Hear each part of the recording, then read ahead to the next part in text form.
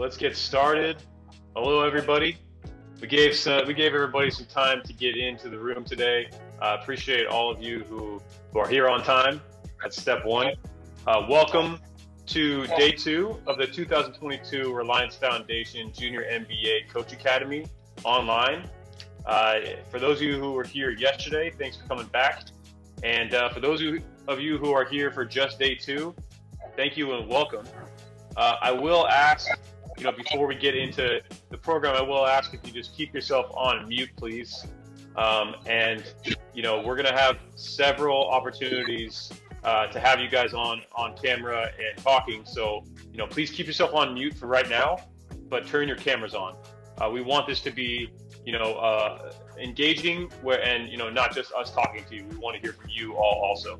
So, to be able to do that, we need you to have your cameras on. Okay. Um, so we're going to be asking questions throughout this. Uh, we're going to be talking about different coaching uh, topics and tactics. So, you know, be ready to, to respond either in the chat um, or if you're comfortable on camera and uh, in person. Um, so again, everybody, welcome. Uh, I just wanted to mention, you know, this is day two of our our Coach Academy online. It's the first time we've ever done an online Coach Academy. And day two is our more advanced level. So this is suitable for you know coaches of teams or a little more advanced youth, um, and also PE teachers and coaches that want to learn more and get a, a, bit deeper into you know coaching strategies and different drills. Um, so we're going to be going through uh, quite a bit today. So I'm really excited, um, and I want to thank all of you who are, have registered on the Oklo app. Um, that's the best way to participate um, in our online program. Uh, you're going to have access to all of our coaching clinics um, so many different resources we'll be posting on Oklo. You can get notifications about, you know, when we have new events happening even on ground. So definitely get on Oklo and, and be checking that. Um, it's a great way to communicate with us as well. Um, I do want to just uh, introduce the rest of our team here today. Uh, we've got some some great some of my colleagues from NBA India on the call. Um, so I want to uh, first off introduce Scott Fleming, Coach Scott Fleming, uh, who many of you know. Uh, he's the former head coach of the India men's national team, and he's currently our technical director at the NBA Academy. So over to Scott uh, for his introduction. Hey, good evening, everyone. Great to see all of you. I see some names, some good friends uh, that I've known for years now. I think it's uh, going on six years I've been connected with India or in India. So I feel about half Indian right now, and I, I love the country, and it's glad I'm so glad to be with you this morning. And uh, we had a great day yesterday. We're going to learn a lot more today. I'm learning with you, and uh, we want your interaction. And uh, let's all get better today. All right. See you in a little bit. All right. Awesome. And next we have Shivraj Kumar, who's the, the newest member of our uh, official NBA India basketball operations team. He's actually been the team manager at the NBA Academy since it opened way back in 2017 uh, and has now joined our basketball ops team. So please welcome uh, Shivraj Kumar as well. Shiv. Thank you, Brian. Good evening, everyone. Thank you for taking your time to be part of the day two of the Coach Academy Reliance Foundation Junior NBA program. Um, well, I'm really excited to join with you all for this program. And uh, we'll be launching our on ground events too. So, looking forward to see everyone on ground soon. Thank you. Awesome. Thanks, Shiv. And uh, finally, everybody, you know, my name is Brian Gamaroth. I'm the, the basketball operations lead for, for NBA India. Um, I've been uh, with the NBA India team since 2019. Um, I'm actually in New York right now, but we'll be back uh, in India shortly here um, and like Shiv said, uh, hopefully we'll be able to see a lot of you on ground at some point in the coming months, um, which which I'm really excited for. It's been a long time. Um, but you know, one of the silver linings about the whole pandemic is we've been able to connect virtually like this from across the world, all in you know the spirit of growing the game of basketball in India. And I guarantee you that all of you here care about that, or else you wouldn't be on a Zoom call at 8 p.m. at night, right? So really appreciate you, you know, all of you who, who are, are tuning in today. Um, and like Coach Scott said, let's let's get better today and, and learn something. And we're all learning together, and we can learn from each other. Um, I also, uh, you know, we're, we're proud to start off this this uh, 2022 Reliance Foundation Junior NBA program. Uh, we have our, our amazing partners that have been with us from the very start um, of the Junior NBA program, way back in 2013, and that is Reliance Foundation, um, who, are, who, are, extremely committed to, to growing sports at the grassroots level. So I want to take a minute to just uh, watch this, this video of uh, Reliance Foundation. Uh, so let's go ahead and play that video.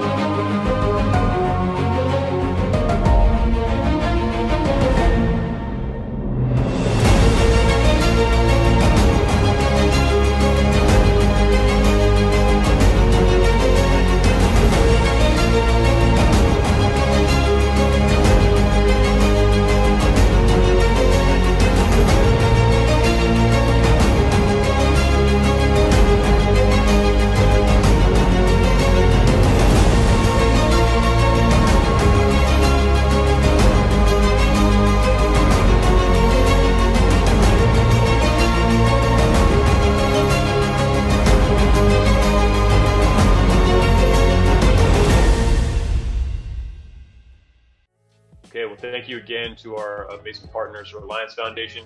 Um, we've been able to impact uh, so many youth and, and, coaches throughout the years, uh, and excited to, to, to, continue to do it this year.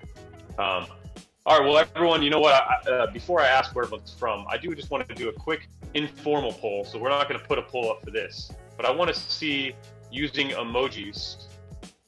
These things right here, you can put it your thumbs up on the screen like I'm doing right now. Who was here yesterday? So who, who is who is coming back? No, take the, take the poll down. I just said let's not do the poll. Who was here yesterday? I want to see who was here, and who's who's here for the first day. Prem, are you sure you? I didn't see you yesterday. I didn't see you yesterday, Prem. All right, nice. Okay, I see a lot of people, a lot of new, a lot of new people, which is great. That's great. Okay, awesome. Um, well, welcome to, to those who are new and, and welcome back to those who are here for day two and some extra learning. That shows me that, that you want uh, to learn everything, not just the advanced or not just the beginning. That's great. Um, okay, so now we can go ahead and get that poll up. I want to know where everyone is from. Uh, what part of India? What regions um, are you from? So you go ahead. You'll see. You should see a poll pop up on your screen right now. Uh, yesterday we had a we had a pretty good breakdown um, of all across India think wet or uh, yeah, I think West led uh, because Kolkata, as usually, comes out in force. I'm sorry, East led yesterday. Uh, so let's see where we're at here. Pretty pretty even split right now between East and South. Uh, that's pretty great. We'll go for another 10 seconds here if everyone can just uh, put in where they're from. Saif, I love that background. Saif from Bangalore looks, looks great, man. Love it welcome back. Thanks for joining. Great to see uh, our right. so, coaches there too. What's that, Coach? I said great to see our Northeast coaches joining us. Yes, too. absolutely, love it, love it. Okay, uh, let's see the results. So it looks like yeah, we have uh, we have a pretty good split again. Um, East and South really showing up. So nice work. Okay. Um, now I want to ask a different question. Okay, I want to know how are you're coaching. And I asked this yesterday, so you know, please just respond again. Um, how are you a coach? Are you a PE teacher? Are you just a basketball fan who wants to learn about coaching? Do you coach a team, or are you a coach at a school? Uh, so please, uh, you know, that'll kind of help us understand, you know, what everyone's where everyone's coming from here. Um, and you may you may be both, right? You may be, um, you know, one, two, or three of these these, but just pick the one you identify with the most, uh, just so we can kind of understand.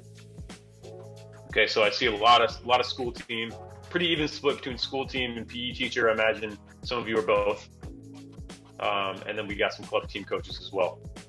That's great. All right. Awesome. So I'm going to end the poll here in about 10 seconds as we get a few more responses in. Uh, and let me see who else we have. I, I recognize uh, Piali. Piali, were you here yesterday? Where's Piali? I just had her on the screen. There she is. I'm going to go ahead and spotlight. Coach Piali, do you mind? I just had Coach Piali on spotlight and she was taken off. Where'd she go? Coach Piali, what, where uh, where are you coaching from? What, what, what part of India are you coming from? You have to take yourself off mute. There you go. Say again. Can you listen to me? Yeah, I can hear you. Yeah, I'm from Kolkata, West Bengal. Nice, nice, cool. Uh, and what what uh, do you do you coach uh, school or a club team, or are you a PE yes, teacher? I coach both. Uh, I am in Kolkata and uh, I work in work as a physical education teacher and basketball coach too. Uh, I'm Nice. working with uh, St. John's Diocesan Girls High School in Kolkata. That's great. That's great. Well, thank you, thank you for uh, helping out. You know, to grow the game of basketball. Really appreciate it, and thanks for attending. Uh, keep up the good work. Thank you. All right. Um, great. So let's get into today's schedule, everybody, and you know we can kind of talk about what we're going to go through today. We've got a lot to cover, so um, I'm just going to share my screen here. Um, everyone should be able to see my screen now. And here's our schedule today. Okay, we're going to start with just a quick warm up. Uh, then we're going to get into you know the program overview. And for some of you who are who are here for the second day, this may be you may have already heard this before. Okay, but we're gonna you know I want to make sure everyone understands you know what the program is. Um, so you know you might hear it a second time. Uh, then we're going to go over what's next. What do we have coming up? Okay. Then uh, Coach Scott Fleming and I are going to break up. Uh, we're going to have two basic stations about some coaching tips. We're going to each cover uh, some coaching topics, uh, and so we'll get to that in a little bit. And then today we're going to end with we're going to go through uh, and show some examples of drills from our curriculum, uh, and we're going to ask some questions to you guys out there and you guys and girls, um, all you coaches out there, because we want to get kind of your thoughts on, and we're going to ask some some questions to get you thinking about how you can set up drills and how you can how you can adjust drills, you know, for whatever group that you coach. Okay, because that's a that's a huge skill in coaching. Okay, um, so that's our schedule today. And now, guys, I'm, I'm going to do something else here, um, and I'm going to share my screen again. You should see my screen right now, and I know you see my PowerPoint, but this says describe in one or two words your best coach or teacher. Okay, so think back to when you were growing up playing basketball or playing, you know, playing football or cricket or anything, and think about your your best coach, the best coach you've ever had, and try to describe them in one or two words. And what what are those words? And you can put that in the chat for me if you can. Okay, and I'll give you my example. Um, for me, I, I would pick two words. My best coach was my, uh, you know, I was growing up. I had a, a club, uh, basically like an AAU basketball coach, and he was incredibly inspiring, and he was incredibly efficient. Okay, so those are my two words. So I'm gonna I'm gonna divide these words up into two different two different kind of uh, topics here. We have tactical and technical knowledge, and then we have connection and emotional intelligence. So I kind of want to see where each of these words land. So I put mine in inspiring and efficient. And Shiv, if you can just read me a few of them in the chat as they come in, and I'll type them in. Can you just read a few of the words that are coming in? Sure, sure. Yeah, I can do that. Uh, dedication, dedicated, Okay, let me just type that in. Hold on. Dedicated. Okay. What else? motivator, What else? learner, life changer, Nice. That's a great word. Okay. What else? discipline, is there anything that's like you know in particular uh, like about basketball knowledge like knows how to teach a crossover anything like that Experienced. Um, I'm looking for it. Give me any, any more. Give me two more words.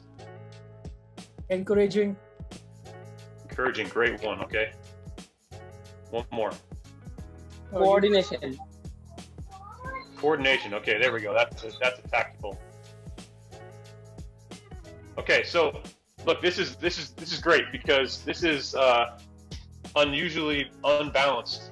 I've never seen i've done this this before and the reason i do this is because you know a lot of people think great coaches just teach the game of basketball and that's it right?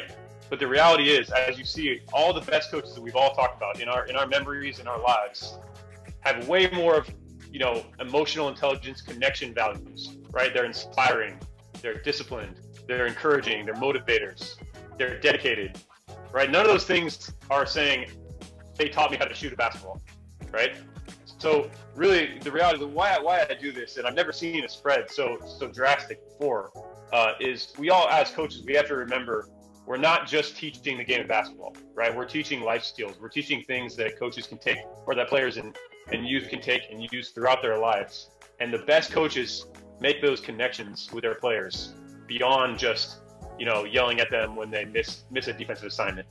Okay so uh, this is great and I, I love these words and and you know it, it, it truly whatever your best coach is you should try to take those best values and and use them when you're coaching okay? Um, but but thank you to all of you who, who put uh, you know their their thoughts in the chat. That's great. Um, and again this is I, i've done this this exercise several times um, and this is the first time i've seen so many you know uh, emotional and connection uh, based values. So so uh, thank you to everybody. Um, all right i'm going to share my screen again guys. Sorry for all the back and forth. Um, but okay so uh, I've got a, a, quick. Actually, no. I'm sorry. I'm going to take my screen off because we have a quick uh, brain warm up now. We're going to test your knowledge here. Okay, we want to know who knows the most about basketball, the NBA, or even India basketball. So I'm going to send it over to Coach Scott uh, for our trivia session. All right. Any of you who've been at uh, the academies that I've, I've run over the years, you know we have to have trivia time. And this trivia is about uh, not only NBA basketball, but about India basketball. So I've got a couple of questions here. And uh, if you know the answer, either put your hand up or put an emoji on your screen, and then we'll have Shiv or, or Brian will call on you here. So, first question Name the team that Michael Jordan played for besides the Chicago Bulls. We know he played for the Bulls. Who else did he play for? We've got Karthik Mahadev and Pura. Washington Wizards. Okay, all right. There's an NBA fan if he knows that. Right at the end of his career, he played for the Wizards. Okay, here's uh this might be a little tougher one, all right, but I'm going to ask it. Uh, this is for about India basketball. In what city in China did the Indian national team beat China in the 2014 Asia Cup? What city? I'm looking for the city. Anybody know? See, Manoj has his hand up. That's the only one I see. Friend, Okay. Yeah, it's Beijing. Beijing. No, no, that's one of the big cities. I'm going to give you a, a little hint, okay? This city has been known for something else in the last two years, and it's not a real positive thing. Prem is gone. Prem is gone. Wuhan. Wuhan, Wuhan, Wuhan. Long before the long before the pandemic, uh, we played China in China in Wuhan, and uh, as some of you know, we we beat them that year for the first time. So that was a big, you know, big, uh, great occasion. So there are my two two for now. We'll have some more later. Yeah, everybody stay tuned because you never know when we're going to drop some new trivia questions on you. And and uh, so, so stay ready. Nice job. Uh, I think it's Bhaga- Bhagavathi to with the first one with the Washington Wizards. Nice job. Uh, I see you were, you're, you're back you. for day two. I love it. Great to see you. Thank you. All right, uh, let's move on to uh, the rest of the show here. Let's uh, get on to the next. I, I talked about this yesterday. You know, we went through our, our objectives for day one, and you know, uh, Coach Scott went over his practice plan. Uh, you know, and, and how to kind of how to how to set up a practice plan yesterday, and so you know, day two here's our objectives. Uh, so here's what we're going to cover, and, or at least try to get to as much as we can. Uh, number one, uh, teachers and coaches will be exposed to additional drills and activities. So we're going to be showing you, you know, eight about seven or eight drill videos uh, that we can then talk about and, and learn how to kind of add add to. Okay. Um, so one of the things we're going to talk about today is is building in loads into drills, and, and, and you know, Coach Scott will talk more about that later on. Uh, but there's several different types of you know, I would call them almost like adjustments you can make to drills. Uh, and I listen there. You have a competitive competitive where you can, you know, you're you're asking your players to beat a time target or a set score. You can add in a decision-making load to a drill, which is making players, you know, have to make a decision instead of just stationary or doing, you know, a, a line, you know, shooting drill. You can add a physical load, which is increasing some of the, you know, the physical difficulty of a, of a drill or a skill. And then you you can add a, a technical load, which is, you know, maybe you're, you're adding uh, another dribble move or another skill that they have to do within one drill. Okay, so that's just a few examples, and, and like I said, Coach Scott will take us through, you know, a, a short a short kind of clinic on that in a little bit. Uh, next, we're going to talk a little bit about how to create structured play in your practice or your class. Okay, and I say class because we do have PE teachers on the call. Um, they're all. Eh, we're also going to talk about you know setting up five on five, three on three type competitions. And lastly, we're going to talk about how to implement small-sided games into practices, and and we'll we'll define what that means uh, a little later on. Okay, so that is our those are our objectives for day two, and uh, you know we're really hoping to get to get to that. Um, so you know we want we want what you're learning over the next you know not, not just today, but we also want to to make sure everyone's learning consistently throughout the year. So you know Shiv talked about how we're going to be getting on ground here soon, but we're also going to be running some uh, clinics online on Oklo over the next few months. So pretty much multiple times a month, we're going to be having clinics with coaches from the NBA family um, live on Oklo. And you see here we have some of our upcoming clinics. In fact, this Friday we have Coach Vin Bhavnani, who's a former NBA uh, assistant coach with the Thunder. He's worked, uh, you know, quite a bit with some veterans and a lot of young players, and is actually uh, out in Oklahoma City right now training players. Um, he's going to be running a clinic on player development at 8 p.m. on on Friday, this Friday. Okay, so and that's going to be streamed right on Oklo. So all you have to do is really open your Oklo app and you can watch it, and you'll also be able to ask questions. So we're really excited about that. Then the following Friday, as you see, we have we have Ron Cass, who is our former player development coach at the academy. Uh, spent a lot of time with, with Coach Scott Shiv at the academy, really developing the next generation, you know, of great India basketball players. Um, and he's going to be focusing on transition offense. So if, as you can see, we're we're really focusing our upcoming clinics on specific tactics in basketball. So you know, if you want to add things to your toolbox, which is one thing we, we you know we always say, you know, what can you add to your toolbox? You know, what maybe you can learn a little bit more about you know getting your players uh, faster or learning to play faster in, in, in, transition offense. You know that that's that's a great uh, clinic for you to attend to learn more about that. Uh, then we're actually going to have our first youth clinic with Coach Ron Cass, who's an uh, you know amazing uh, player development coach. He's going to be running an online live Zoom clinic uh, for youth on Saturday, April 2nd. Okay. And again, all of this is in Oklo, so you can check it out. And then lastly, uh, early April, we're going to have another coach clinic with Coach Akash Sebastian, uh, who's actually raised in India and played youth basketball in India, so knows knows it very well. Um, and he's now an assistant coach with the Utah Jazz. Uh, he works on on basketball analytics. So he's going to talk a little bit about an entry level to using basketball analytics as a coach. So if you're interested in learning more about that, you know, I highly recommend attending that. And again, all of these are available in Oklo. So really excited about what we have have coming up.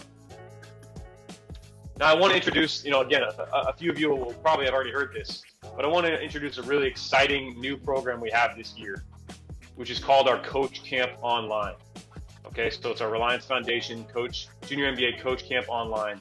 And what it is is, you know, we like to call it a Coach Accelerator program. So we're looking for the the most engaged and talented coaches throughout India. Basically, we want to we want to find the next you know crop of, of the best and brightest coaches in India and continue to work with them.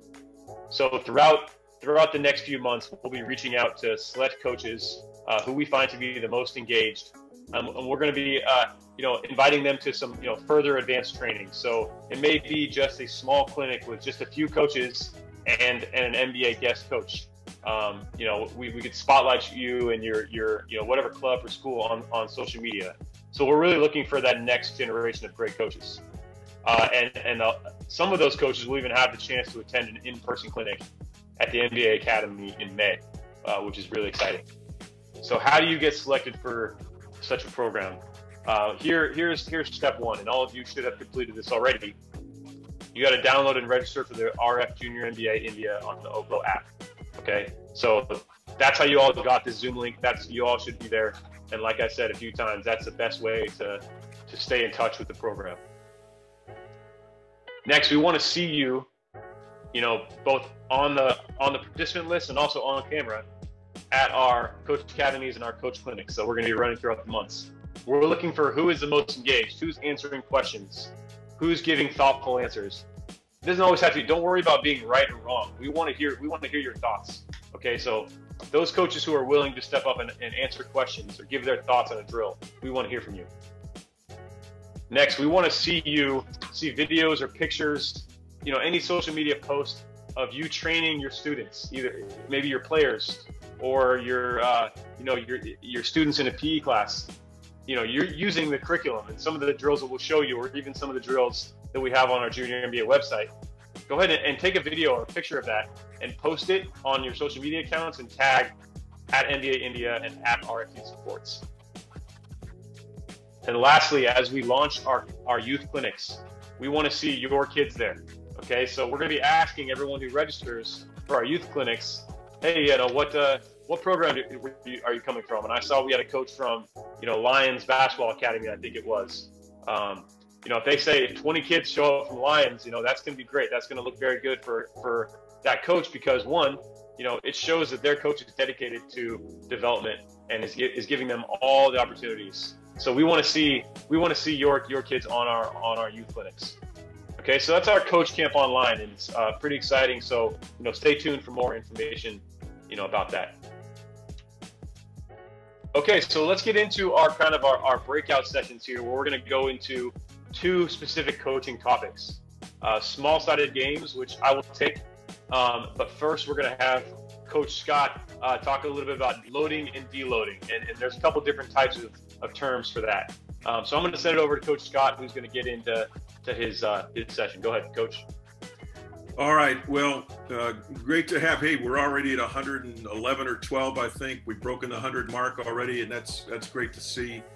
Um, and I, I, loved your answers that you gave about uh, what you know coaches have, have, done for you over the years. If, if, if I were to answer that, I, the, the best coach I ever had was my college coach, and and I tell people this all the time the best thing you can do as a coach is give your players confidence. And, and that, you know, that's in line with, I heard inspiring, motivating, encouraging. You know, we want to be a positive influence to our players um, and not just point out what they're doing wrong, but celebrate what they're doing right. And so that's really important. And anybody that's played for me, hopefully that's, you know, that's what they've received. Um, and uh, the, I just want to give one other little commercial as, as, Brian was talking about all the things coming up. And I won't give you details now, that'll come later. But uh, we are going to be having regional tryouts for our academy. And if you know young players, uh, young youth players that would like to be at the NBA Academy, you think they're they're talented. Uh, when those regional camps come up, uh, tryouts, you know, you encourage them to be there and get them there if you can. So um, again, I won't give a lot of details on that, but you'll hear soon what's what's happening. Okay, let's talk about, uh, and, and I, I, I did, you know, gave it a, a main topic is pr productive practice sessions. And um, yesterday, you know, I took you through a lot of uh, ways to organize your practice, how to break it up, what are the what are the different areas you need to prepare for, and how to run a practice. I showed you really even a practice sheet. And I believe we'll be getting uh, those soft copies to people here um, shortly. But today, today I want to talk about uh, an area that's that's really important to me, and, I, and I've learned over the years. I probably wasn't very good at this as a young coach, but I, I you know, you, you learn a lot as you, as you coach. And I'm coming up on almost 40 years of coaching. And so I, you see under there, it says same skills, uh, different drills. And that's really just talking about our subject today is, is loading and, re, and, and deloading drills. And you may not understand exactly what that means, but basically what Brian was talking about is changing your drills um, to, to fit your situation. And I'm going to give you six reasons why we would do uh, the same skills, different drills, or, or loading or deloading. Okay. The first one is, and this is for you know your youth coaches, your PE teachers. Um, you know, you need to start basic to more advanced. It's a progression of drills. And so your progression of understanding and skills, you need to match that to the skill level of your players. And so whatever drills you're running, you could start really basic and then as as they get better as they get older as they become better players now you can be a little more advanced in those drills and maybe taking the same ball handling and shooting and passing drills and just make them a little more difficult as you go until you you know at some point you're, you're running a pretty advanced drill.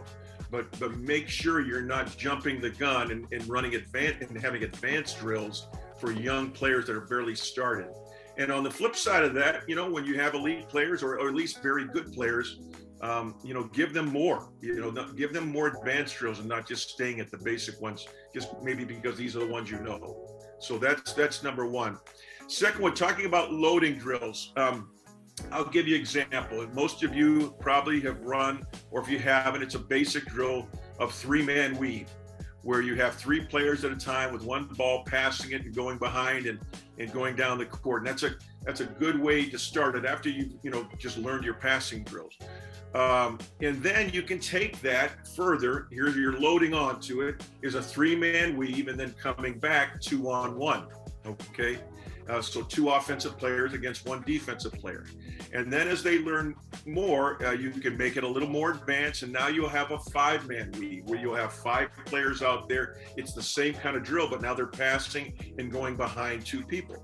And so you work that. And then that would uh, lead into five man weave going down the court, coming back three on two. And then you keep adding to that five man weave to three on two to two on one to one on one. So you'd be going back and down, back and forth four times down the court. So this is just an example of, of, of loading a drill. You know, here I started with three man weave, and you end up with five man weave to three on two, two on one to one on one. And this is again, you know, back to number one, keep starting basic and then adding to it as they get more advanced okay, deloading a drill, uh, you know, I'll give you an example of that. I have a drill that I run. It's for one player at a time. It, it, it, I, I learned it from a pretty high level coach, and it was called 21 shooting.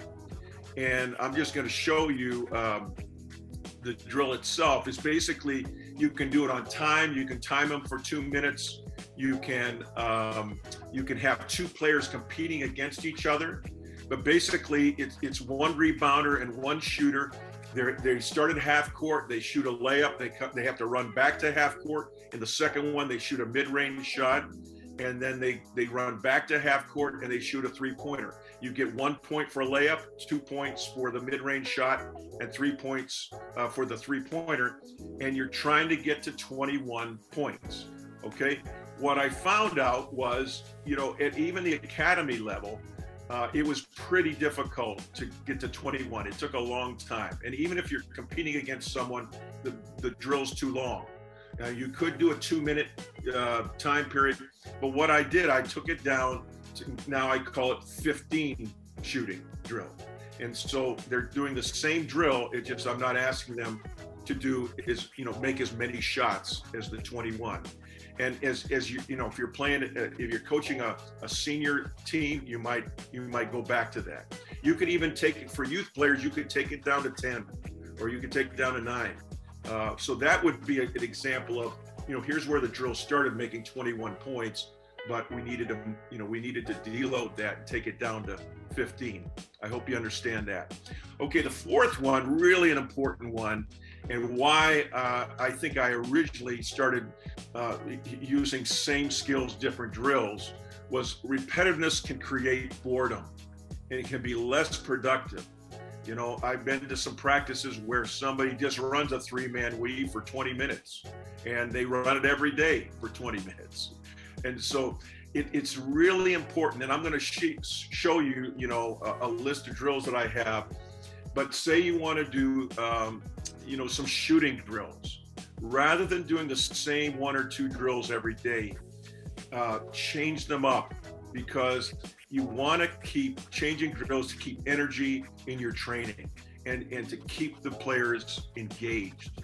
If you're running the same drill every day, I'm telling you that they're going to be bored and they're not going to, it's not going to be as productive. And so you can come back to them, you know, and, and, and repetitiveness is, is important to keep working on the same skill.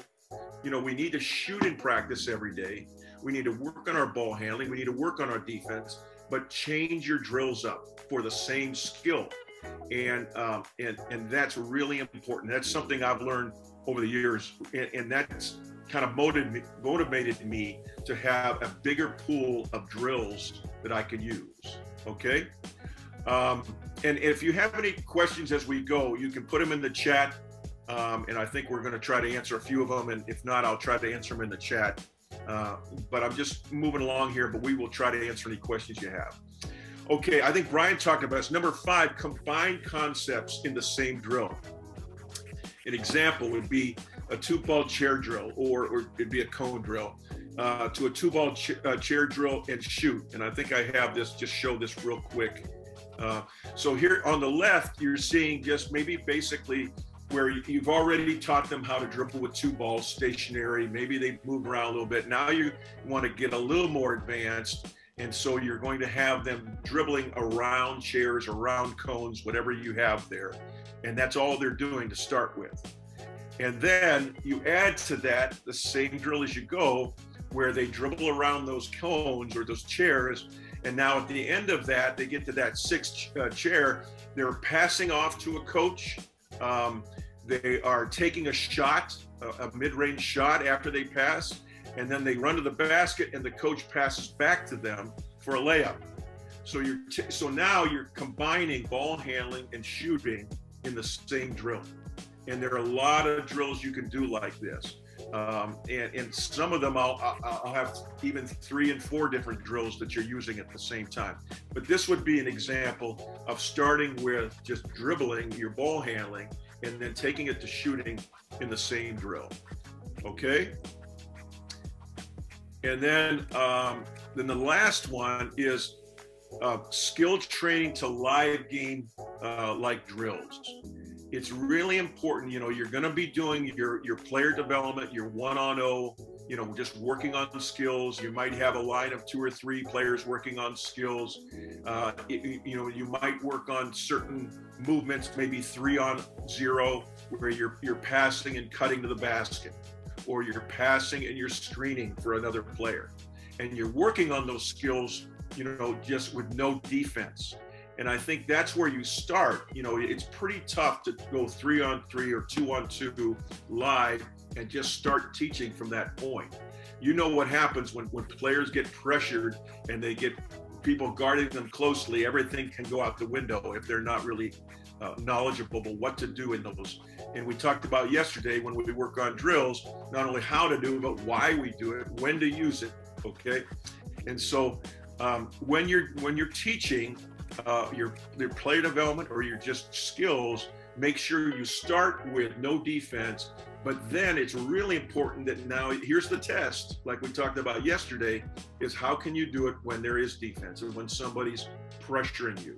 Okay, so you want to go from one on O to one on one, or to two on, you know, go, then go to two on two uh, you know, then then I talked about you'll be running some three on O, working on different uh, movements in that, and then let's put some defense in and see how you can do it. And that takes you all the way, like when we do dry runs for our offenses, we have uh, basic offenses, fast break drills, all that. We do that all five on O to start with, just so they they develop uh, you know, recognition of that, and they remember that, and, and, and they know how to do it five on zero. Oh. But then we put in the defense, and that really tells you where they're at. And sometimes we we have to take the defense back out and go back five on zero again until we we get better at it. But this is really important that, you know, there's a difference between just skill training and what I'd say player development. Skill training is more just without defense and just working on those skills. To really take it all the way to player development, you've got to work on it against defense. Okay? So I hope I hope that helps why we do the loading and deloading and why we use same skills, different drills. These these are basically um, the reasons why it's so important to do that. So as you ask questions in the chat, we'll we'll check in a minute. Let me let me show you a couple other things. So here is just I have, uh, and I'll show you here in a minute. I have a library in, in what I call Fast Draw. It's a computer program, and I here you can see all the different categories I have of drills. Okay, and you know, so here are my warm up fundamental drills. You see, there's 23 of them on there. Here's my player development shooting drills. I've got 24 of those. And so that anytime I have a training session or practice, I can choose, you know, again, same skills, different drills, so that they're not bored and so that we're being more productive and we're, you know, we're, we're advancing them some. And so these are all drills. And I'm just, you know, next one, these are all that I have down here, offensive moves. You can, you can see there's a bunch of those and, and fast break drills. Here's another group of them team play drills, uh, player development defense. We have our defensive drills, our team defense. There's, you know, you just keep going and you have all these different drills to choose from. Now, you say, where do you have all those drills? Well, they're in a program called Fast Draw.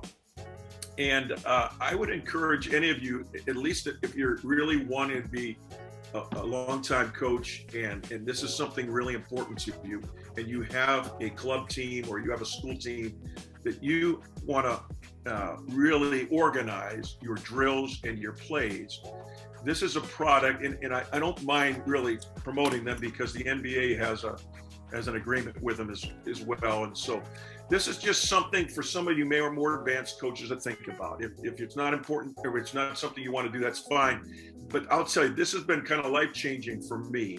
Uh, I used to have a big filing cabinet and all these files and all these papers and everything that I'd have to sift through to find out what kind of drill or what kind of play I wanted. Because I would go, I would listen to a lot of coaches like this, and I'd be taking notes and I'd be listening to all uh, kinds of clinics, and that was, you know, a lot of that was before all, everything was online. And so, what happened about 12 years ago, I got Fast Draw, uh, and it is. Um, it, I took every drill that I had on paper, any drill that I was thought it was important, or a, or a, or a, a uh, my plays, and I put them in this library. And basically, you can you can see on the right there is the actual diagram and if you can use a mouse, you can write out all your own drills. And I, I think I told you yesterday, some of the best drills are the one that you do, ones that you do yourself. Uh, but you can get a lot of them from other people too.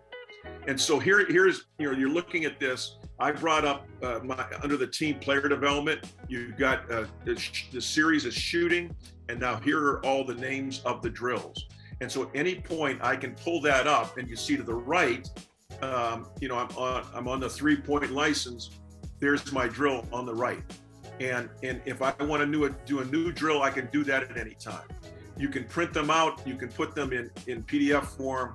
There's all kinds of things. But and, and I think you know this. It's fairly inexpensive. It's a yearly subscription. If this is something you'd want, you know, um, we can get you more information on it. I think on the next screen, I actually. Uh, so here's like here's something I would have I could print out, and this was in a PDF form. So these are just shooting drills that these are all that I, you know, I just used a mouse and, and you can see the, uh, you know, the cutting arrow and then the dribbling is the squiggly one and, and on all all of these drills now. And below it, you can put the description as you can see there. So I have, I don't know how many, 500 of plays and drills probably and and I can and I can put them all together like this. I can do them individually. It's just a great way to organize your drills, your plays, uh, anything that you have in your system. Um, and then this is just it's under Fast Model at the left corner, Fast Model Sports, and the actual product that I'm using is called Fast Draw. And again, um, if, if you you know want something like this, all you have to do is is go to that website, Fast Model Sports. And it might be something you think about if you have any more questions on it. I know we, you know, for our national team coaches in India, um, they got copies of it. And so, um, yeah, it, it's just something that helps organize, you know, your practices.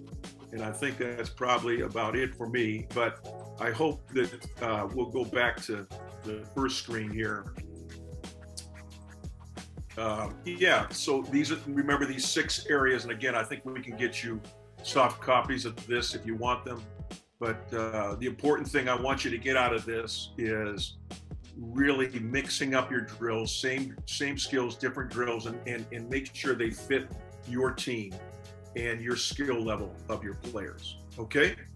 I don't know if we have uh, Shiv. Maybe we have some questions. Do we want to see if they, anybody's asked anything at this point?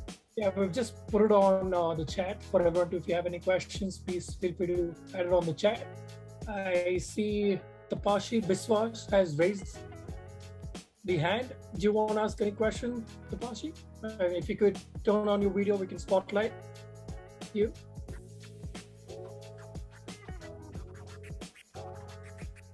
And, and those of you, if you don't want to, you know, ask it formally this way, please put it on the chat and I'll try to answer it as well that way. But anybody want to ask, we've got a time for maybe one or two.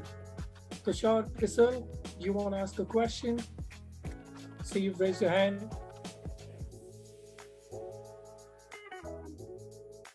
Please turn on your video so that I know we can spotlight you. Yeah, just take get off and mute and uh, see if you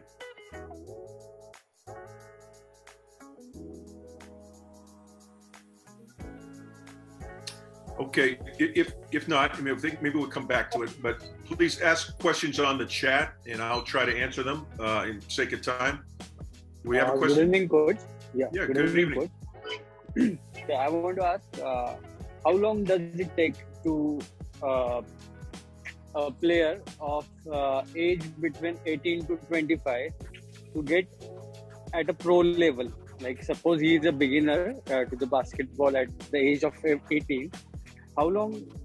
What is the duration to, of a player to get uh, equipped with all the skills and drills with his personal development? How long does it take?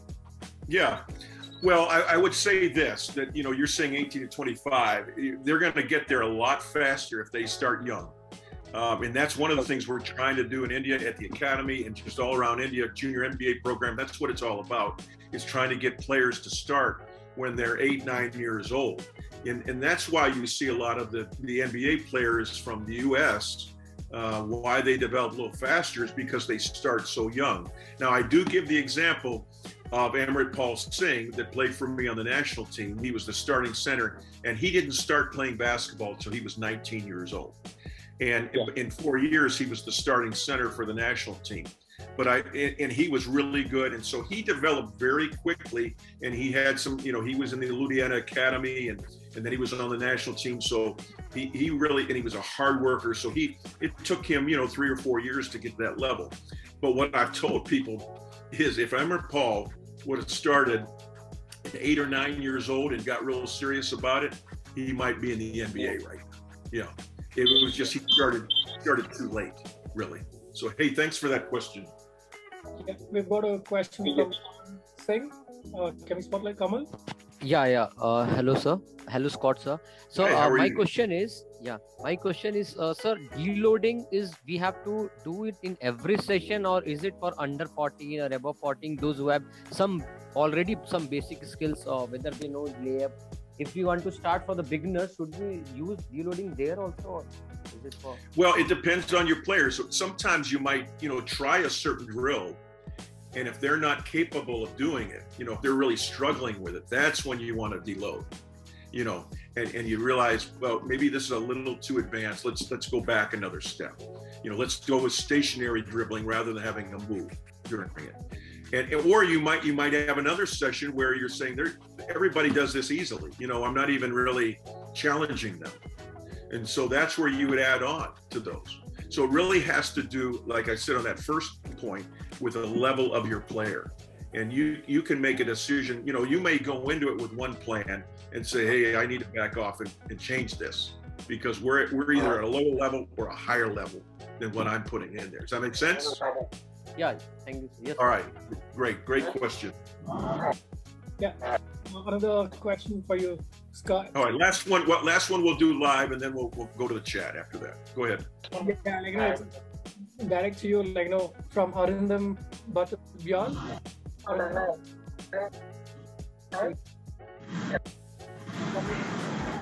Same question to how to get access to Scott's library. yeah, I have that asked often. Well, first of all, you need to uh, you need to purchase Fast Draw. Okay, so there I'm, I'm I'm their salesperson, I guess, because if you do get that, you can share these drills uh, back and forth. Now, it, you know, it'd be a process to share with everybody, but you you know that's the starting point is getting Fast Draw, purchasing that, and having that as a software on your computer, and then uh, those drills. Yeah, I, I if, if you requested that from me, I, I could share. You know, I have nothing to hide, so I would I would share that. So okay, Thank, thank you so much. okay, all right. Well, let's let's let's move on, but keep asking your questions if you want to in um, in the chat. I'll try to answer them that way. But back to you, Brian. All right, awesome. Uh, great, great questions, everybody. Um, and I just want to say, you know, you know, loading and deloading ultimately is it is coaching. That is coaching. You know, taking a couple drills and changing them to to uh, either make it tougher for your players or you know a little bit easier for your players. You know, that's that's coaching. So. Um, you, you might find that uh, you have a pet drill that you love and just keep adding and changing things to it. Um, and it's a great way to teach. Uh, so I'm going to get into the, the next the next coaching topic here, um, which is going to be small-sided games. Which is, you know, as a player, when I was when I was coming up, I, I loved anytime we got to do any sort of small-sided competitive game. And so I wanted to just talk about, you know, what what is a small-sided game? Uh, does anyone know? I, here's the definition that I that I've come up with com- competitions that feature various combinations of offensive and defensive players and also can occur in a restricted area of the court. Okay, so there's kind of two different definitions of, of a small-sided game. One, it could be, you know, a two-on-two game. Two, you could play a small-sided game in on only a quarter of the court, right? So, for example, you only you have you must stay on one side, right? That that's a, a you're limiting, you're restricting the amount of room on the court. Um, but you know, most of the time it's it's a, a two on two, three on three, even a one on one style game. Okay, and there's there's a couple of different adjustments that coaches can make uh, to their their small sided games, and I just put some examples here on the screen. Uh, so number one, you can create advantages or disadvantages, which is a great way to simulate actual basketball, right? So many times you're not just playing three on three on basketball, right? If you have a fast break, it could be three on two. Okay, you could even be a disadvantage, right? A two on one, um, a three on four. So you know, coaches can make kind of can kind of make that adjustment in their practices to simulate more game gameplay. Uh, secondly, you know, an obvious one, you adjust the number of players, right? You have a one on one, you have two on two, you have three on three. We talked a little bit about yesterday how three on three is great for player development uh, because you get more touches, it's more space, but also you can't really hide. You know, you gotta you gotta make sure you're guarding your guy or girl. Uh, secondly, another adjustment you can make to an in-game small or an in-practice small-sided game is your, your skill emphasis, right? So you can alter the rules to say, you know, if you want to work on passing and, you need, you know, you need to make sure your team is sharing the ball more. You can say, hey, you guys have to complete three passes before before you even get a shot. Or if your offense, you know, consists of on-ball screens, maybe you say you have to set an on-ball screen before you can shoot. Okay, so it's a way that coaches can kind of adjust their drills to make sure they're getting the emphasis they want across. We talked about modifying court space, right? You can, uh, you know, basically wall off uh, one part of the court, so you can't you can't go over that or that's out of bounds. You must stay inside the three-point line. Even a half court, even a half court is really a modified game, right? And then adjusting scoring rules, which is another way to kind of emphasize different skills. One of the best examples is uh, that I've that I've seen and also used when I've been coaching is if I'm really focusing on defense. You know, I can play a three and three game, but I say you only score on defense, right? And if you score, you get the right to play defense. right? So then every time you, you get a stop, that's a point. So that's that immediately changes the mindset for your players. Oh, I'm going to focus on defense now. Okay, I, I, we have to get a stop. When usually they're thinking, oh, how can I score? Right? If you change the rules to make it so you're scoring on defense, then that's going to get that mindset changed. Okay, and now I'm going to show I'm going to show a quick uh, drill here uh, that that uh, is one example of a small-sided game. Uh, so let's take a look at our first drill video, and then we're going to talk a little bit about about it afterward. All right, so go ahead and play this video, and I want everybody to watch and think about you know what exactly is happening in this drill. Troubleshoot end of game scenarios in this advanced game we call buzzer beater.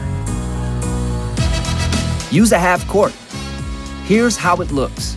Divide players into two equal teams of three, four, or five. One on offense, the other on defense. Choose a common end of game scenario like 10 seconds left on the clock, offense down one. Before inbounding the ball, talk to each team and draw up basic offensive and defensive plays to run. Depending on their skill level, they can also call their own play. 10, 9, 8. Once the game is live, Count down loudly so players know how much time is left and how to adjust their strategies accordingly. One. Remember to celebrate a defensive win with just as much excitement as an offensive win. A buzzer beater doesn't have to be a last second shot. It can also be a last second stop. Good! Yay, good girls, good. Okay, so let's let's talk about this drill. Uh, uh, I, I love using this type of drill. You know, we, we call this drill buzzer beater uh, because it's it's what I call, and other coaches may have their own names for this, but it's what I call situational. Okay, and it's it's technically it's a small-sided game, or you can even go full-sided. You can go five on five that you use to work on specific times of the game, right? So in this is in this instance, what was the adjustment that the drill made? What, what, what was the, the time of game that they were they were focusing on? Does anybody know? You put it in the chat if you know. This was exactly the notes. Last minute live game situation, right? Um, the time limit exactly normal. So, so basically, what they're doing is you're simulating an end of game situation, and the coach can say, "Yeah, Rohit says 10 seconds left, down one." Exactly. So you're basically simulating a timeout where you're bringing your players over, and you have you're down one, you have 10 seconds left.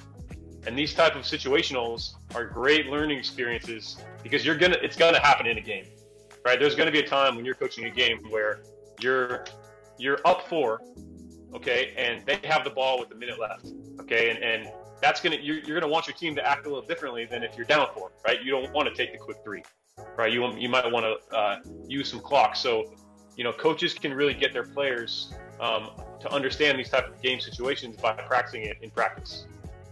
Um, so I actually have a poll question that kind of relates to that, uh, to this this specific topic right now. So I'm going to put up this poll question right now, which is situational, and I want to see how how coaches react. So can we put up our third poll question here? I'm going to ask if you're up by three points as a coach, you're up by three points with under five seconds left, and you're playing defense. Do you foul or not? And the other team is in the bonus, so they will shoot free throws. Okay, a lot of coaches have been in this type of situation, and I'm always curious. There's no right or wrong answer. Coach Scott, what do you what would you what do you do usually when you're in this this type of situation? I by trial and error, I will follow. Uh, I I went years where I didn't, and I lost about two or three games that way, and I've yeah. never lost one since uh, by fouling. Could be because so much has to happen for them besides just hitting one three point shot. Yeah. Yeah, exactly, exactly. So, you know, I actually, I early in, in, when I first started coaching, I would, I would trust my defense and not foul, right? Just, you know, trust your defense. But I also got burned a few times. Um, and this is great. This is actually a, a pure split. We had 20 yes votes and 20 no votes, and then six sometimes. I, I guess I would probably fall in sometimes also. But that's just, you know, again, there's no right or wrong answer. I just wanted to to you know to see what you guys thoughts are. And it, it is an interesting thing for coaches to think about. And it's a situational that you can then practice in your practice sessions. All right so let's move on to our next uh, small sided game example. And this is one of my personal favorite drills. Um, and this is and, and i'm going to ask after i show this video you know what type of adjustment um, was made to this this game. So let's go ahead and play our play our second video Practice playing with and without an advantage in this small-sided game we call one up. Use a full court. Here's how it looks. Divide the group into teams of three to five players each, one in pennies, seen here in white and black. If you have a bigger group, make more teams and line them up behind the baseline, waiting to rotate in. Line one team up at the free throw line as defense, across from the first three players on the baseline, playing offense. The game starts when you inbound the ball to one of the players on the baseline. The defender across from that player must sprint to the baseline as the offense drives up the court playing three on two. The numbers even out once the player who sprinted to the baseline reaches the far end of the court. Play until the offense scores or the defense gets a stop. Then they swap roles or a new team rotates in on the next round. A small sided game is a kind of scrimmage, focused on developing a specific skill or tactic. Here, players get a taste of what it's like to play with and without a numbers advantage. In the actual game, the defense and offense won't always be evenly matched, especially in transition. It's essential to get up the court as quickly as possible when switching from offense to defense. Slow down, and the team will be down a player when they need them most. Good score, finish it. Close out. Okay, so again, you know, great a great drill, and I know it was a little choppy, but uh, these drills will be on YouTube, and we, will make sure everybody gets the links. Um, but I hope everyone kind of figure out exactly how that worked, right? You you line up, you know, three players on the baseline, three players facing them, and whoever you pass the ball to, their defender has to touch the baseline before they can rejoin. So it's creating a, a, a, an advantage for the offense, right? So this could be this could be a load, right, that we just talked about that you're adding to a to a to a, a full court small sided game. Okay, so uh, you're you're giving the offense an advantage, which again, this happens. You watch a basketball game, it happens every single possession, right? Not every single possession, but you know, 75% of the time, you know, the offense is, is going against a, uh, um, a, a, an advantage or disadvantage. So this is a great drill that will simulate that. And secondly, you know, let's not forget, it's fun. This drill is fun, right? If you've ever been in this drill, who doesn't like to have an advantage on offense, right? You get a lot more shots. You know, on defense, you can scramble around a little bit. You don't have to just work, worry about your guy. You can try to, you know, play both and and uh, and really work hard. So uh, again, this is a drill that I would highly recommend everyone try, even for, for younger players. Um, okay, so that's small-sided games, uh, everybody. You know that that's I, you know it's just one. It's one of my uh, you know personal favorite things to implement. You know at the end of practices or even you know during my skills portion of practice. Okay, so we're going to move on to the next part of of the uh, presentation here, and that's going to be our junior NBA curriculum. So what we're going to do next is we're going to show you a few more drills, like I mentioned at the beginning of the of the session. And and I mentioned this yesterday, but our, our junior NBA curriculum, which you can find online at juniornba.com, we break it in into three different parts. Okay, fit, which is warm up activities and games. Learn, which is how players build skills and coaches can teach team concepts. And then finally, play, competitive and small sided games. So, you know, a couple of the drills that I just showed you. Um, so we're going to start with the fit portion, which is, you know, a warm up portion of a basketball practice. And, and I want to show you guys, um, you know, I wouldn't say this is a super advanced warm up game, uh, but it is, it's a little more advanced uh, just because it's a little more difficult. It would be a little more difficult for young players, but it's a very fun and active warm up game um, that you can also use for older players. So let's go ahead and play the end zone drill. The hardwood meets the gridiron in this passing game we call end zone. Use a half court size space. Use cones to create a rectangular playing area, then mark two end zones on opposite sides. Here's how it looks. Divide the group into two teams of three, four, or five, and give one pennies. One team starts on offense, the other on defense. On your call, we're ready, go. The team on offense starts bringing the ball up the field, uh, court, and into the end zone. Once they receive the ball, they're only allowed to take three dribbles before they must pass to a teammate. If there's an interception, the defense becomes offense and heads in the other direction. Good job, girls. Go red, coming the other way. After the offense scores a touchdown for one point, teams swap roles and continue playing. Play for a few minutes, then give teams a chance to huddle and reset their strategy in the next round. This is a great opportunity for teammates to find and create space for one another, working together to send the ball to areas of the floor with fewer defenders and more opportunities. One, two, three. Logo! All right. So a great game. We call it end zone. Okay. Um, so I want to ask, you know, again, I'll, I'll just explain it real quick. So that in that game, there's no shooting really, right? You're just working on passing. You're trying to pass the ball down the court and get it across a certain line. Okay. So I want to hear from from you, all you coaches out there. Is there anything that we could add to this drill? What can we add to this drill to make it either tougher uh, or you know change up the skill or take some? Could, we even take something away?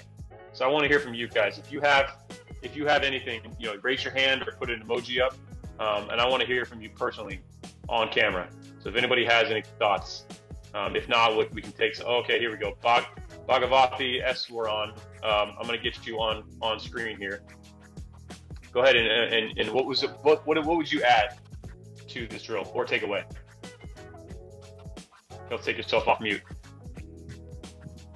Yeah, um, I would actually, you know, uh, ask the players to not dribble. I will take away the dribble. So, which means the players are, you know, not allowed to dribble and they can only pass the ball around to the teammates sure. to, you know, uh, move to the end zone or score a touchdown. Yeah, exactly. I'm, that's how I've run that drill like like that before, where you, you know no dribbles at all, right? Maybe maybe for younger kids you get a couple a couple dribbles, okay, but yeah, but great, yeah, great answer. Um, I also I saw another uh, coach put in a great answer. Uh, let me see if I can find it. Oh yeah, pa- uh, said add pivoting, and the reality is like you don't have to add pivoting, right? Players will automatically pivot in this game, right? So it's a great way to teach pivoting without actually telling them, hey, we're we're going to pivot in this because they're you know if they don't pivot, they travel, right? So you can you can tell them, hey, to get a better angle, use pivot. You know, use your pivot foot to find a better passing angle. It's also a great defensive drill. Okay, um, so that's that's uh you know just one of my favorite uh, warm up games. Um, so let's move on to our second warm up game. Uh, this one is called shadow dribbling, and so now we're adding in, you know a little bit of dribbling into our warm up. Keep your head up and your eyes on your partner in this game we call shadow dribbling. Use a half court size space. Here's how it looks. Divide the group into pairs. Everyone gets a ball. Line partners up facing each other about 5 feet apart. Choose a leader within each set of pairs. On your call, go! The leader starts dribbling the ball, crossing over between their dominant and non-dominant hands. The other player follows their every move, dribbling in rhythm with them. After 30 seconds, add some movement in and switch the leader in each pair. Our next step, we're gonna work on mobility. All right, let's try it out. They shuffle from side to side as they dribble while their partner shadows them. Here, players learn the importance of holding their head up and keeping their eyes forward while dribbling. In the actual game, the ball handler needs to maintain court awareness to see their teammates and the defense at all times. Let's go, bring it in. One, two, three. go! Okay, so I love I love this warm up because it gets gets players moving and dribbling the ball. Also, they're working with each other, so it's not just the coach leading the whole time, right? You you can partner up two different co- or two different players to be working on giving each other cues. Okay, and, and I love that word cues, and I love using cues in, in practice because that's what happens in games, right? If you're dribbling and you see a defender and he's leaning one way, that's your cue, maybe to cross over and go the other way. Okay, so um, and I just want to ask all of you, all of you out there, you know, you can either raise your hand or you put it in the chat. What could we, what could we add to this drill or to this warm up? Is there anything we could add to to this shadow dribbling warm up? I'm curious to see what coaches would, you know, could or or would add. I see Raj Deep. Um, let's get Raj Deep on the screen if you can. Uh, what is your what's your answer, coach? And welcome back. What could you add to this drill? uh, we can add something like uh, you can uh, dribble with it on one hand and you have to come and together you have to make a clap and go back you can do it with both hands like you're dribbling with the right hand and you have to move forward and clap your friends and move backward again and yeah. the, that drill can add it exactly now, now we're working on movement you know like forward and backward movement side to side movement like you saw in the video that's that's great yeah, you know, coaches can be competitive. Uh, I see Mark said add a tennis ball. You know, that that would be that's you know a little bit tougher, but I love it. Um, two ball dribbling and then passes. Yep, Coach Anil, that's that's great. Uh, so there's lots of things you can do with that drill. Uh, again, we call this shadow dribbling, uh, but it's a great warm up. I wouldn't spend you know 10 minutes on it, but you know you could take five six minutes, get everyone you know touching the basketball and getting them moving. Um, and if you don't have enough basketballs for everybody, you could just have one player just be giving cues while the other player dribbles and then switch. Okay, so that's a way to also alter, you know, to, to alter the drill if you don't have enough. Yeah, Brian. Also, it is a that's a really good drill to keep their eyes up and watch. You know, not looking down at the ball. And you know, we do the numbers game and all that, but that's a good way to keep your eyes up because you're having to watch your partner. Absolutely, absolutely. Um, okay, so those are our two warm up, our two warm up drills. Uh, that uh, um, you know, two just two examples. And again, there's so many other examples that you can find, um, not only on the Junior NBA uh, website, uh, but also, you know, we'll, we'll, be releasing some more coaching resources throughout the year uh, with more drills. Um, so let's get into the, the uh, learn portion of the of the uh, curriculum. And what the learn is, it's again, it's building skills. So it's our you know our fundamental basketball skills, and and um, we're going to show you a couple two different drills here that are going to focus on different types of drills. And as I show these videos, I want you guys to start thinking about different you know how you can make this drill more game-like or different additions or subtractions you can make, okay? So let's get to our first drill. This is called the V-cut layup drill, okay? And the V-cut is, is you know, in my opinion, uh, you know, one of the best cut, uh, cuts to teach a young player because it's showing them how to get open. Okay, so let's play the first drill. This is the V-cut layup drill. Each player is going to have a ball. They're going to pass to the coach make a V cut, get a pass back, catch, and attack the basket for a right hand layup since we're on the right side. All right, here we go, guys. Here we go. Pass, cut down, good catch, attack the basket. There we go. Solid pass, here we go. Catch, open up, good. Rip through, good. There we go. There we go. Cut, good hard cut. Attack the basket, good. Here we go. Cut hard, go, attack the basket. There we go. Knock it down. Good, good. Come up. Good. Attack the basket. All the way. All the way. Here we go. Here we go. Next. Make sure when we catch, we're square. Make sure when we catch, we're square to the basket. Square yourself to the basket on the catch. Here we go. Square yourself to the basket. Good, good, good, good. One more here, one more. Cut. Good, good, good, good, good, good, good. And that's the V-cut layup drill. Okay, so pretty simple drill. You see there, you know, the coach had set up two cones. He was instructing the players to run down, make a V cut, pop back up, catch the ball, and then you saw a rip through and a drive for a right hand layup. Okay, so we're working on a couple different things there. So, you know, at the very basic level, you know, it's, it's always good to get through that drill with, you know, just as is, with maybe no defense, um, and just teach, teaching them the footwork and what a V cut is. But as you, you know, progress into you know, trying to make drills more game-like. How can we how can we make this drill a little bit more game-like? And I'm curious, you know, to for, for all of your thoughts. What could we what could we add to this drill to make it more like an actual game? We got Kamal, Kamal Singh. Um, what what do you have, Kamal? Kamal's been on here a few times. See dummy uh, defense. Uh, we can add a defense or a, not dummy as a guided. We can add a guided defense where uh, the person who's defending, so you can keep your while you are moving, uh, you can keep your feet in front of his feet so that he you can trick him or her, and then you move to the left so that at this time he, he will not recover. So we can add sure. that. Yeah, exactly. Yeah, at, at defense. You know, one, one of the things that I, lo- I love about this drill is, you know, and what I've done is you add a defender that makes the player make a decision, right? So you can tell the defender you either deny the pass or you let him catch it, right? And if he's denying the pass instead of a V cut, you know, what could the player then do? Not a V cut, maybe a back backdoor cut, right? So at this point, they're now they're making a decision, which is a very game-like decision. Okay, if they're not denying the pass, I'm going to V cut to get open if they are denying the pass, I'm just going to go back door and I'm going to get a layup. Okay, and now you're starting to develop that decision making um, at the young age, at the young level. Uh, okay, so you know, that again, that the V cut, I, am just a, a, huge fan of the V cut in general. I, I, think you know all young players should should really learn, you know, how to get open on the wing.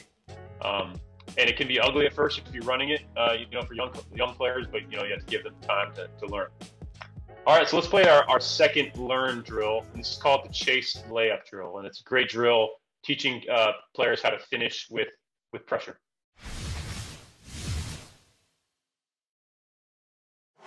When you're pushing the ball up the floor, you have to get used to people running behind you. So we have a drill here that's called the chase layup drill. Okay, you guys ready?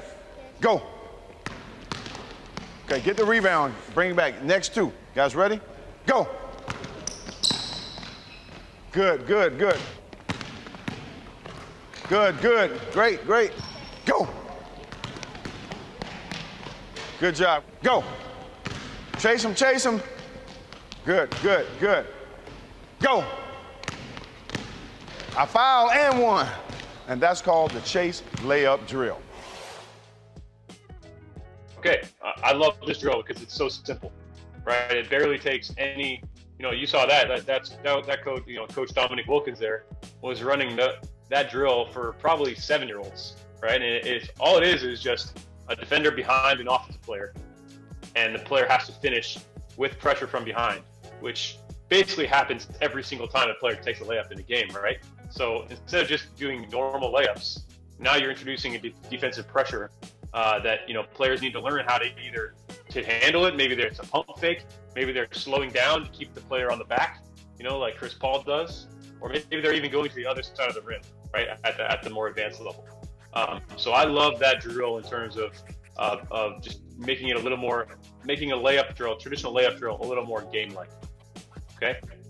Um, before we get into the play, the last part of our curriculum, um, I want to send it over to Coach Scott for another trivia session to make sure everyone's keeping their brain sharp. So, Coach Scott, do you have a couple more trivia questions for us? I do. I, I have plenty of them, but I'll give a couple here. Um, so, this this first one is going to be a um, kind of an NBA and India question. Uh, what NBA team did Satnam Singh get drafted by in the second round of the NBA draft? Probably have a lot of hands on this one. Who was first, or who at least close to first? Anybody we haven't heard from before? I'm looking. I saw Tushar Pushal got his camera on. You gotta take yourself off mute. Step two. Off mute. Mute. Go to Shar. There you go. You gotta figure out how to get off mute. He's waving at us. It's there we go. Mavericks. Mavericks. There you go. Dallas Mavericks in the second round uh, a few years it's ago. 52. 52 number. Yeah, yeah, yeah. Great, good job, uh, Tushar. All right, second one. This is uh, kind of a combination as well. I want you to name three NBA players or former NBA players that have visited India in the last five years. We've had a, a lot of them, uh, present and past players. Somebody named three players that has that visited India, either you know been a part of our junior NBA program, academy, they've been on TV, all of that. Who's who's got it? Let's go. We need somebody on camera here. How about Saeed? Uh, Robin Lopez. Okay. Seth Curry. And Kevin Yeah. Durant. Yeah. Yeah, I'll give you. I mean, they've all been here. I think Seth Curry was maybe a little long before three years, but yeah, those, that's that's a great answer. Hey, somebody else give me three other ones while we're on it. Three more players because there've been a lot of them. Anybody else, or at least give me ones that you remember. Got in the chat. Anybody else? uh, M- M.A. Hard Krishnan had a good answer. I haven't hadn't seen that one before. Uh, He's so on. Kevin Durant, Yeah. Kevin Durant, and Brook Lopez. Okay, that's a new one because we got both brothers now. Yeah, and uh, Saint Harrison Barnes. Okay. All right. those are all good answers. I mean, we've had we've had quite a few. Anybody remember Kevin Martin coming? Robert Horry was here. Andre Miller. Uh, you know, we've had a lot of players here in the last five years. Of course, Kevin Durant was the, you know, was the big one where we had the big, uh, you know, clinic, largest clinic in the world. I guess we we called it back then. Do I have time for one more, uh, Brian? Let's save it for the very end. We'll, we'll have that. Be the, that's how we. That's how we get out. Uh, right. And don't forget, we also had two full NBA teams yeah. in India too. So you could you could have listed any of the players on those teams. No, that's true. That's true. You could have named any of them. yeah. All right, so so we'll have our we'll, we'll end this session with one last trivia question, but I did want to get just I want to show a couple more drills here that are in our play version of the curriculum. So that's when we're getting back into competitive, you know, uh, you know, small-sided games. So um, I want to show this one, which is a great drill. This one is called uh, champions and, and, challengers. And again, this is kind of towards the end of practice when you're working on more uh, game-like situations and uh, small-sided games. Reward good defense in this small-sided game we call champions and challengers. Use a half court. Here's how it looks. Divide the group into at least three equal teams of two to five players. Two teams play to start. Play begins when the team on defense passes the ball to the team on offense, initiating a scrimmage with a twist. We're emphasizing the defense. If the defense gets a stop, they stay on to guard the next team while the offense rotates out. that's a point. Good. If the team on offense scores, they stay on against the next team but switch to defense. Flashy highlights and big shots can make basketball appear to be all about offense. Here, we're flipping that mindset by putting the defense in the spotlight. It does win championships, after all. All right, so I'd actually mentioned that earlier, and that's a that's a defensive small-sided game that you can only score on defense. So I, I, mentioned that before, and it's one of one of you know the drills that, that when I was coming up, my coach would was all about defense, and he would he would put us through that for a long time and make it competitive, and you know the the winners got to get water, and the losers had a little extra running.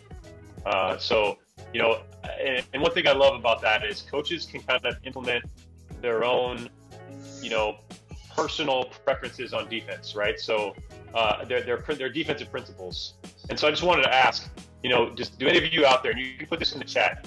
Um, do any of you out there have your own defensive principles, you know, that you take with you no matter who you coach? Uh, for example, for me, you know, usually, you know, like, and I'm, I'm, i feel like I'm the same as Scott here. I don't teach zone defense. Um, I was actually never taught zone defense either growing up. So um, it's very rare that I'll even do zone. So I, I, I go man to man and person to person. And generally, what I like to do is uh, I take away the middle. Okay, so I force everything baseline. I'm not giving baseline.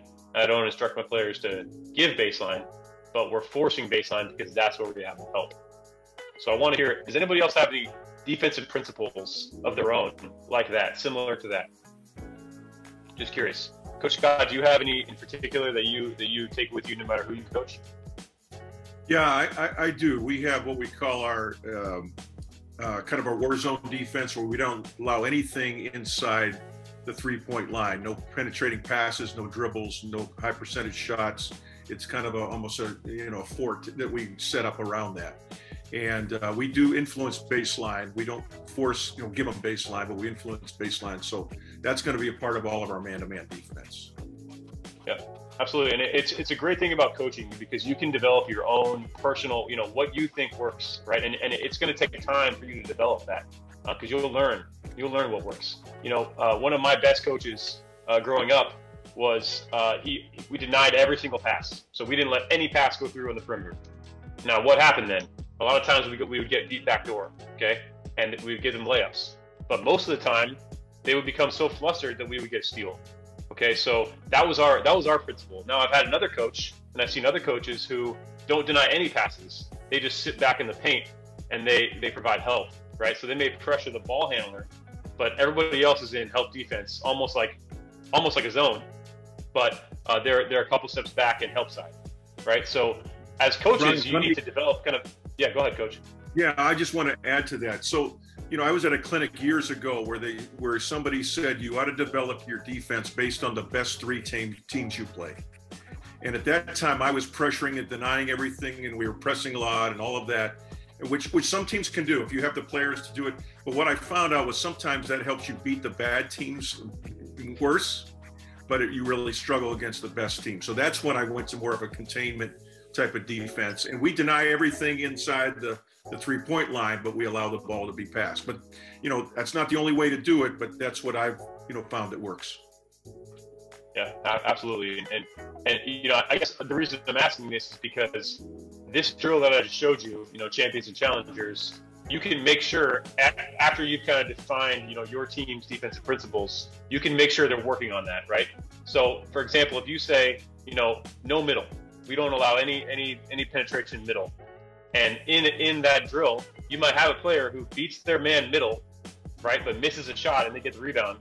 You know, I wouldn't count that as a stop, right? Because they they didn't actually um, follow the principles, right? So instead of they, they let their, their player go middle, and right there you could stop the game and say, no, you, you know that's not a stop. Okay, and that's a little more advanced, but it's it's one of the reasons I love that drill because you can really put your own principles on that uh, that you want to make sure your players are learn. Can I add one more thing, Brian? I mean, this is really a great idea. We do a lot of drills where we we give points to the defense, like this drill does. But we have other drills, or, or we just sometimes when we just play, we scrimmage, we give points for offensive rebounds, or we give you know points for deflections or steals, and and we we may not even have a drill where we give any points for for score. It's just all based on the other things things you're emphasizing. Um, and so you know you can we we have some drills where we we penalize somebody for a turnover. They they lose a basketball and, and you win the game by not turning it over. So I I say all that to just say you know if there's things you want to work on, give give points to those other things besides just baskets like Brian's talking about. Absolutely, absolutely. All right, well that's that's all the time we have. We we do have ask trivia questions. So Coach Scott, let's let's make this one a good one, and we want to see a ton of hands up here. This is your last chance to answer a question. All right, I'm going to give it. Maybe this is a tough one. I don't know. Um, what is the name of the NBA super fan that cheers for the Toronto Raptors? The name of this fan. He was even at our Indian games, right? He came over for that. Oh yeah. Anybody know? Anyone know? I don't see any. I I only see one hand up, and we've already called on him. Let's give it another chance. Anybody else going once? Come on, Rohit. I know you know. Come on, Prakash. NBA super fan. Here's for the Toronto. Fairhour, come on. He's become famous. I think we've got some answer on the chat. Pankaj Pandey. What's the answer? Pankaj, right on. You got it. There it is. Nav. Yeah. And he he he not only is on TV all the time, but he came over for our India games. And I know our academy players had pictures with him and all that. So he's um he's pretty special guy. There you go. Absolutely, awesome. Well, well, thank you so much, everybody, uh, for for you know this these two days. Uh, for those of you who are both who are at both days, and maybe those of you who are only on one day, uh, really appreciate you being there. Again, you know we can't grow basketball without coaches, right? Coaches are the the bottom, the you know the the front line of of making sure the players have good experiences in basketball, are learning and getting better. And the Reliance Foundation Junior NBA program is all about giving kids a chance to play. Okay, um, and so you know, Shiv mentioned we'll, we will should be on ground soon, um, so that that's exciting. But we also will have throughout the year we're going to have coaching clinics and more opportunities for all of you to learn and to engage with us and the rest of the program. So please, you know, stay tuned on Oklo. You guys all have it now, I hope, or you should. Um, we'll also be sending out an email after this to everybody on this call. Uh, you're going to get a part one and a part two certificate. Okay, an actual uh, uh, certificate we'll send electronically to you, depending on the day that you were at. And we'll also uh, send out some of the resources that that uh, myself and Coach Scott went over today. Okay, so we really want to give you guys a chance to, to look that stuff over a little more in depth. Um, because again, you know, we're all team here. We're, we're a team, and our, our goal is to is to grow basketball. Um, so so thank you to everybody. Um, and, and Shiv and Scott, if you have any any parting words, uh, you know, go for it. Hey, I'll just this is one thing I always try to say. Uh, just parting tip is coach all your players, not just five or six players. If you have ten or twelve players on your team, give them respect. Uh, you know, mix them up in practice. Don't always play first team against second team. And when you're in games, when you have timeouts, anytime you're talking to the team, bring them all in. So that's what I'll leave them with. It's been great to be with you. Uh, love seeing how many we've had on here, but coach all your players. There you go adding to what uh, Coach Scott had mentioned, like you know, with with uh, respecting your students, also respect the parents who are bringing the students. Right? They invest a lot of time in these two, uh, children to get better. So respect them, like you know, give appreciate the parents bringing the children to your classes every single day. Thank you, Mr. Brian. Okay, thank you everybody, and we hope to see you on court soon. Uh, and again, thank you to Reliance Foundation for being our partners of the Junior NBA. And we will see you all very shortly. Thank you.